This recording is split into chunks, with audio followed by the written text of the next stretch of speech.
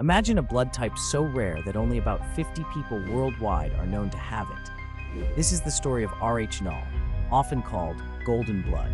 Unlike common blood types, classified by the presence or absence of A, B, AB, or O antigens, and the Rh factor, golden blood lacks all 61 possible Rh antigens.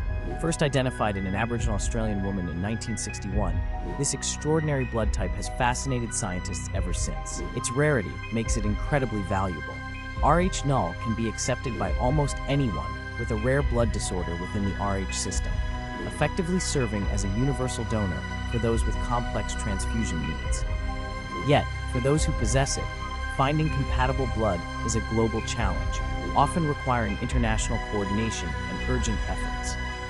The existence of golden blood has opened unique doors for research, helping scientists unravel the complexities of the Rh system and genetic variations.